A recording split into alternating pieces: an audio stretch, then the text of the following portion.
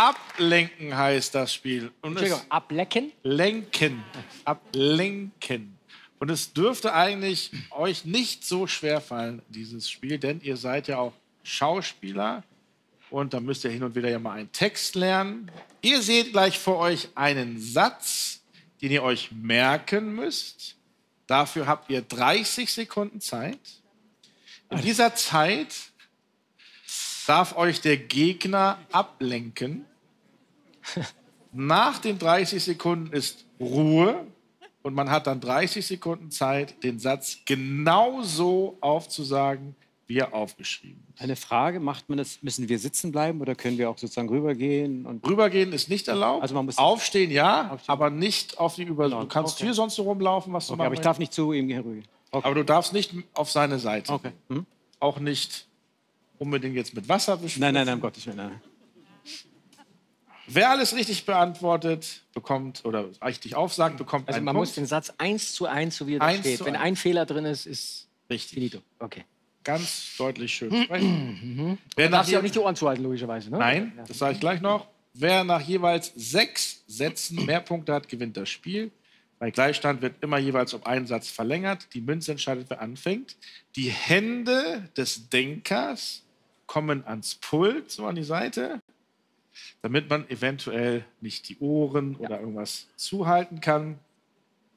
Und der Ablenker darf sich auf seiner Pultseite bewegen und sagen, was er möchte.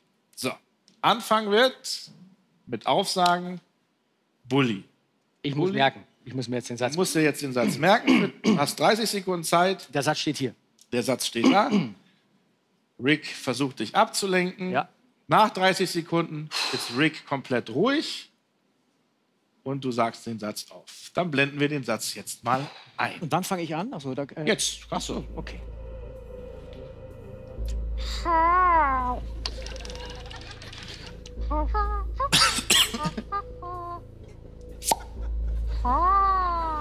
Und ein schwerer Satz. Ah, deine Konzentration schwindet. In dieser Zeit liegst du schon längst im Betty, Betty, Betty. Der Typ hat so ein geiles Kurzzeitgedächtnis. Hast du nicht!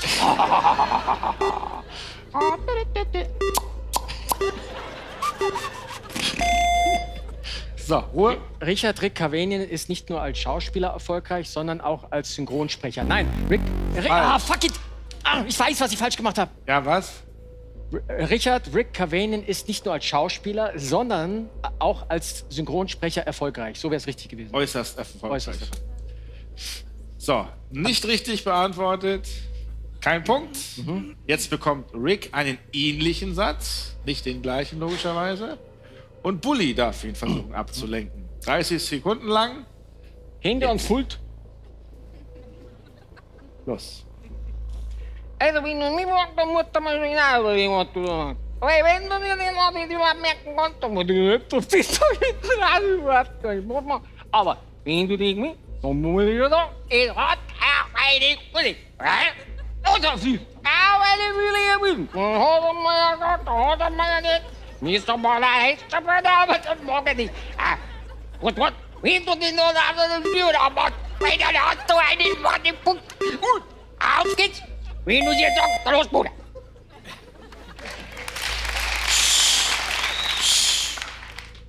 Michael Bulli Herbig begann seine Karriere beim Radio und kam dann über das Fernsehen zur Filmemacherei. Richtig!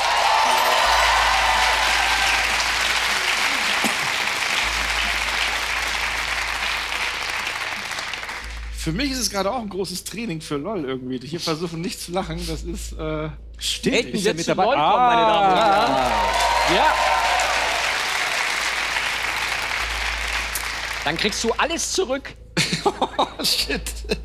Okay, Bully bekommt wieder einen Satz. Rick darf versuchen abzulenken. 30 Sekunden ab jetzt.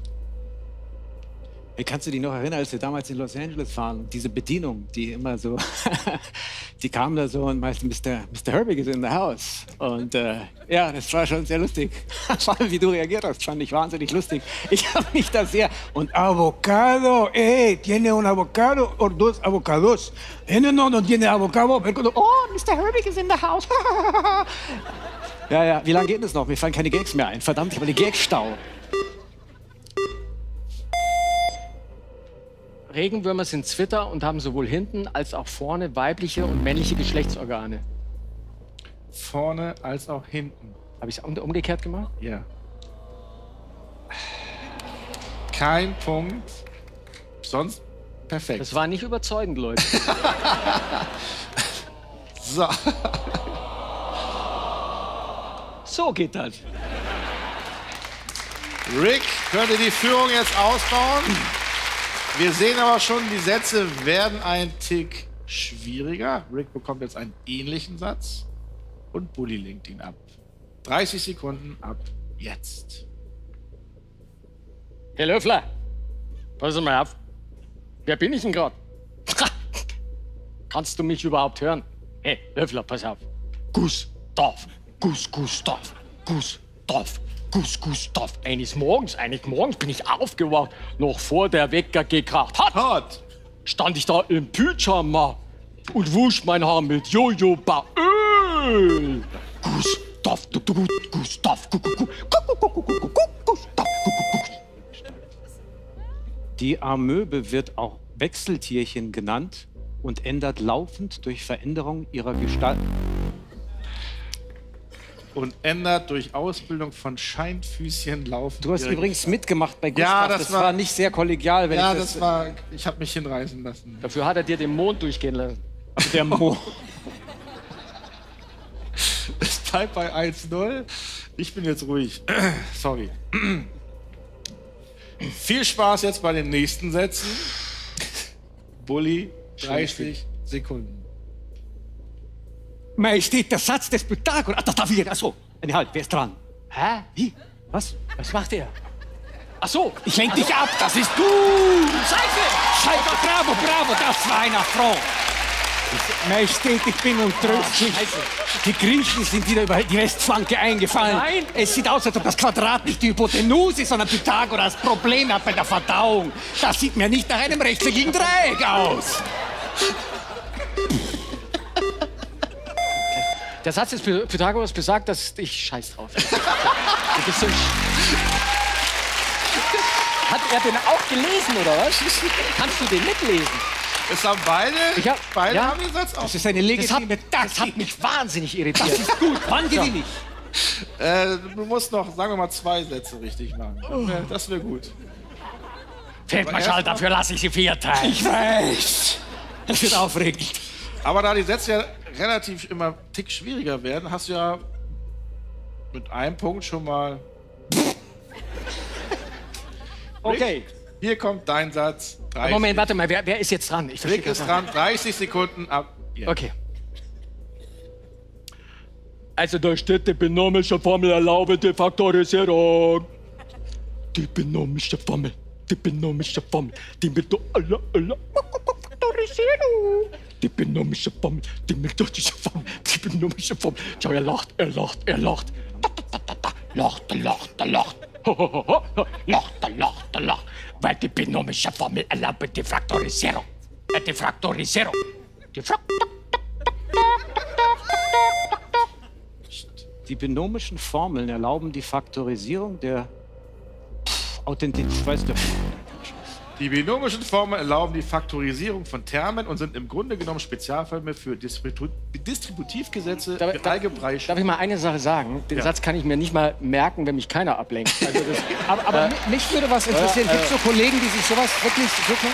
Ist schwer, ne? habt, ihr das vorher, habt ihr das getestet? Es ist hart. Und das haben sich Leute gemerkt? Es Keiner, ist ne? Echt krass. Haben wir hier einen Astrophysiker? Aber wir machen es vielleicht wieder einen Tick leichter für Ja. Bully und Rick. so Sätze mit drei, vier Wörtern vielleicht? Bully, du bist dran. Zu merken, 30 Sekunden ab jetzt. Hast du etwas Zeit für mich? Oh, Ah, 1737 und 1715, ja, da war natürlich 1812 eine Menge los im 1754, 95. Ich würde sagen 1731 war, aber 1744, da hatten sie echte Probleme. Und 1726 war ein schwieriges Jahr. Und als Henry der 16. kam, dachte sich Ludwig der 14., leg mich doch am Arsch, wieso ist nicht 1745? Naja, weil 1755 auch keine Chance hat und in 30 Sekunden der Mist ja vorbei ist und ich meinen zweiten Punkt bekommen will. Die französische Revolution wird in drei Phasen unterteilt. 1781 bis 200. 89 bis 1791. Aber bis dahin sehr gut. Ähnlicher Satz für Rick. Der führt noch 1 zu 0. Bitte schön, 30 Sekunden ab jetzt.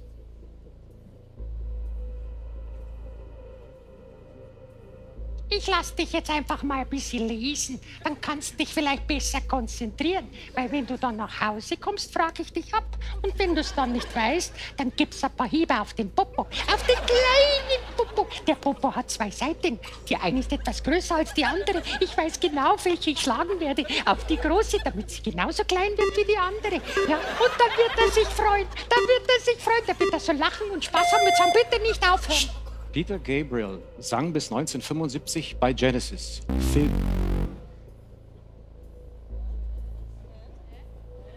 Warum habt ihr abgebrochen? Weil das ein Affront ist. Man will mich ablenken, rausschmeißen. Mach noch, versuch, versuch's einfach nochmal. Ansonsten, Peter Gabriel sang bis 1975 bei Genesis. Phil Collins sang von 1976 bis... nee, jetzt ist falsch. Ja, so nach einer Minute. Ich habe in der Zwischenzeit einen Roman geschrieben. Entschuldigung. Also, Leute. da bin ich ja wirklich, also...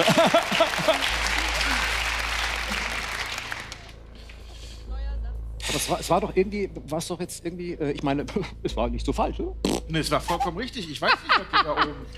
Da ist einer mit dem Kopf durch. auf die Taste gefallen, weil er eingeschlafen ist. Ja, der ist eingeschlafen über dem... Oh, mein Fehler. Aber äh, du hast recht. Er hat schon einen schönen Plüschpo irgendwie. Das, Hat er gesagt. was aber? Das ist einen schönen Tisch. So, Ich weiß nicht, worum es geht. Es geht um deinen Po. so, liebe Freunde, ist der Notar wenigstens noch wach? Was machen wir? Was machen wir jetzt? Das ist der Anschluss des Notars. Ja, hallo, hier ist der Notar, was gibt's? Genesis war falsch, Punkt geht an Bulle. Genesis war doppelt. Das stimmt ja nicht, oder? Der erste Satz, glaube ich, war wirklich... So, Also wenn er es richtig gemacht hat, dann würde ich, würde ich entweder das Spiel wiederholen oder ihm den Punkt geben. Achtung, er ruft an. Den rufst du jetzt an. Pass auf, jetzt ruft dann Raab an. Du hast das R-Wort gesagt. das R-Wort Das R-Wort gesagt. Äh, wir haben doch keine Zeit. so, was machen wir jetzt? Er tut Ja. nur, als ob er telefonieren würde. Ja, Hat Ja. Nicht, hat, ja. ja, ja, ist richtig. Ja, ja, ja, ja, Okay. ja, ja. Aber dann jetzt den Aber neuen jetzt? Oder später? Oder später. Okay. Okay. Na, was sagt er?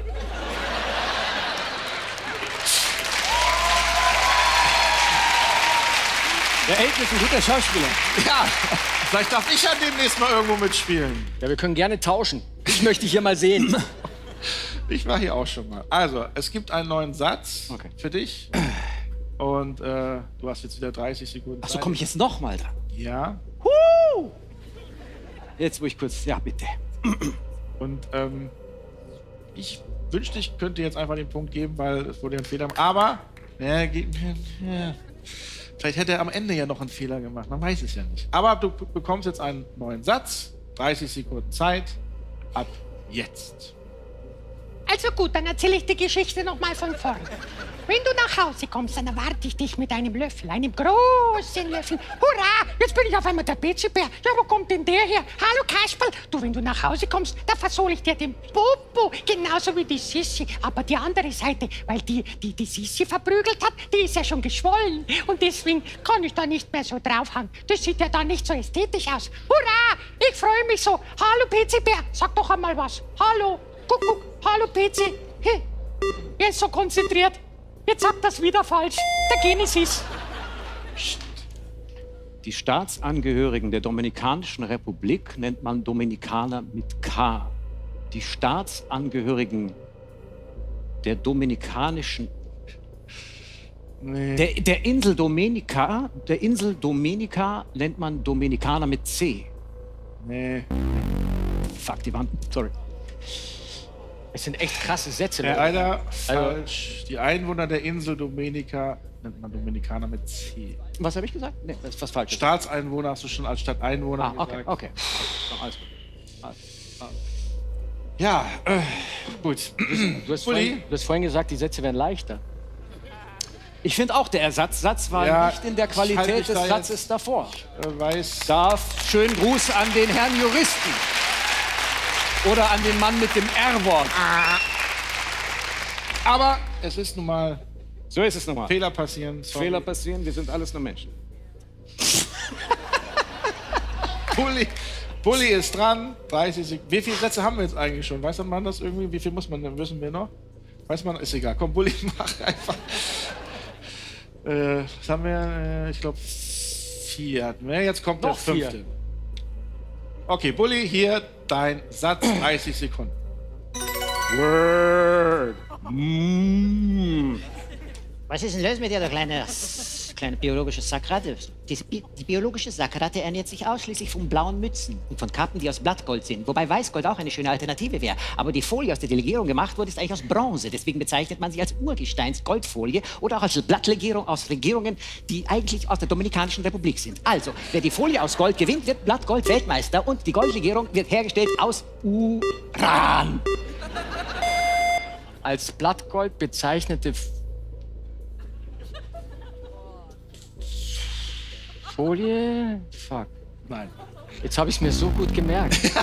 Hey, was meinst du, wie es mir vorhin Jetzt habe ich es mir doch so gut gemerkt. Ich habe es doch gerade. Ich habe es doch gerade gewusst. Kann ich den Videobeweis noch mal? Was stand da jetzt? So, Rick, du kriegst jetzt den fünften. Und da wir ja sechs Sätze spielen, solltest du diesen jetzt richtig machen, hast du dieses Spiel gewonnen. Und da drücke ich alle Daumen. 30 Sekunden Zeit. Hier dein Satz. Grüß Gott, mein Name ist Waldhauser. Ich bin da, um Sie zu kontrollieren. Ihre Größe ist, steht im Ausweis 1,32. Ihr Gewicht ist bei 150 Kilo. Ich glaube, Sie sind ein Ausweisfälscher. Das kann ja nicht sein. Bitte stehen Sie mal kurz auf und zeigen Sie mir mal, bitte zeigen Sie mal Ihre Schuhgröße, weil da steht irgendwas von 163. Ha? Haben Sie überhaupt Schuhe? Sie haben ja überhaupt keine Schuhe, Sie haben ja Plattfüße und ein künstliches Hüftgelenk. Was macht übrigens Ihr linkes Glasauge? Das steht nämlich auch da drin in dem Ausweis. Können Sie mich überhaupt sehen? Sagen Sie mal was. Austern sind Muscheln und gehören dem Unterstamm der, Schalen, äh, der, der Weichschalentiere an.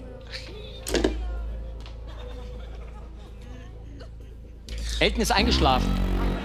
Es waren die Schalenweichtiere, du warst. Das war griechisch. Ey, aber dass er aufstehen darf? Er aufstehen darf, er darf nur nicht auf deine Seite kommen. Der Grieche hat sich hineingeschummelt.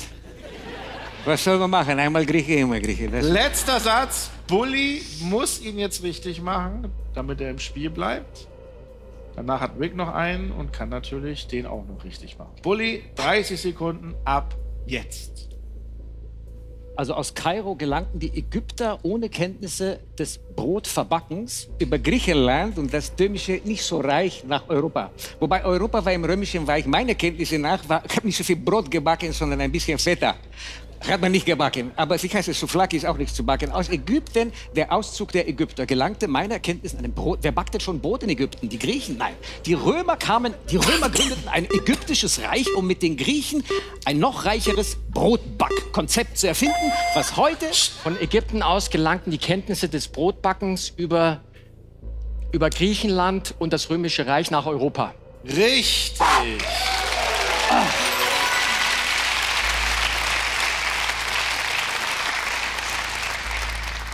Rick hat es aber jetzt in der Hand richtig gut konzentrieren. Wenn der Satz richtig ist, hat er das Spiel gewonnen. Bulli überlegt schon, wie er ihn ablenken kann. 30 Sekunden ab jetzt. Also ich habe lange überlegt, ob ich so sprechen soll heute Abend. Aber jetzt mache ich es einmal. Einfach damit du mal die Stimme wieder hörst, weil du die schon lange nicht mehr gehört hast. Und weil ich dich einladen würde auf kleine Rundfahrt. Vielleicht hier durchs Studio. An diesen ganzen Leuten da vorbei, die haben was vorbereitet. Kleine, kleine Schneckereien. Also Süßigkeiten sind Schneckereien, wenn Sie verstehen, was ich meine. Das sind diese kleinen Schneckerl, wo oben so ein bisschen ein Kästchen drauf ist. Die kann man sich wunderbar in die Nasenlöcher stecken. Dann riecht man nichts mehr, weil hier drin stinkt es ja so furchtbar. Nach einer Meinungsumfrage nutzte im Jahr 2015 jeder fünfte Erwerbstätige ein Faxgerät. In Deutschland hat gefehlt. Ah! Oh, könnte ich gerade mal in hohem Bogen über die Antarktis. Jetzt 1 zu 1. Weiter geht es. Jeder Satz entscheidet jetzt. Natürlich hat Rick immer noch einen Nachsatz, wenn Bully jetzt was richtig macht. Oder? Nee, gar nicht wahr. Wer noch hier. Mach. Bully fängt jetzt an. 30 Sekunden. Ich habe die Kartoffel geteilt, aber Deutschland lässt sich nicht so leicht durch vier teilen. Und wenn du denkst, die Erdkrümmung ist ein Apfel, hast du einen Grund zur Birne. Weil wenn du eine Birne im Kopf hast, bist du kein Erdapfel und die Kartoffel ist nicht so birnig wie der linke Teil von Deutschland, weil der rechte sieht eher aus wie ein Pflaumenkuchen. Deswegen würde ich den Erdapfel nach rechts schieben, die Kartoffel nach unten und schon haben wir das Grundgesetz der Birne im Gesetz verankert. Aber wer glaubt, dass die Teile Deutschlands auch als Erdapfel bezeichnet werden könnten, ist eine Kartoffel mit deutschem Pass. Die Kartoffel wird in Deutschland auch als Erdapfel oder Grundbirne bezeichnet. In Teilen Deutschlands. In Teilen hast du. Teilen habe ich vergessen. Zeit war eh um, ne? Zeit, ja. Aber wenn du Fehler machst, ist ja ist so sofort. hart. Das kann man wenn sich du gar nicht Fehler vorstellen. machst, ist ja sofort raus. Ja, ja. Deswegen ist die Zeit eigentlich egal. Rick, Ja, Baby. jetzt. Ich glaub an dich. Ich auch.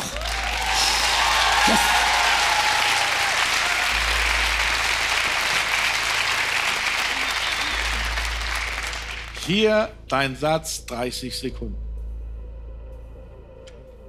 Harry Potter wurde weltweit Erfolg. Vierte Roman zu einem Reihe Potter Harry. Zu einem weltweiten Harry Potter Reihe wurde Roman zu einem Die Harry Potter. Harry Potter. vierte weltweite Erfolg zu einem erst mit dem Roman. Die Harry-Reihe Potter zu weltweiten Erfolg. Roman Potter Harry Reihe. Potter Harry Reihe. Vierte Roman.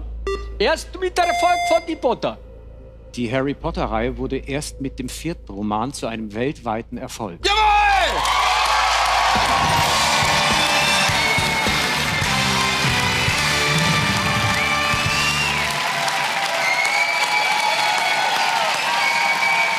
Es, sorry.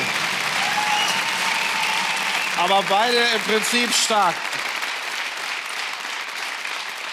Wow. Das kann man sich, das kann man sich so schwer vorstellen, wenn man hier so so hockt. Krass. Ja, aber wenn Sie du so Text lernen könntest, wärst du der Größte. Ja. Das ist wirklich, also. Wow. Rick holt weiter auf. Vor allem die letzten Sätze waren jetzt nicht so schwer. Die waren Die besser, hätte man ja. sich tatsächlich aber merken zwischendrin, das waren ja Wahnsinnsdinger. Ja, ja. Naja. Gut, machen wir Feierabend. Punkte. Es steht jetzt 42 zu 36 für Rick. Sag mal, das hat dir doch gerade gefallen, was du gesehen hast. Oder, oder, oder. Also, sofort bitte YouTube-Kanal Abonnement, sonst bist du nicht dabei, versteht? Bist du aus dem Trend raus und dann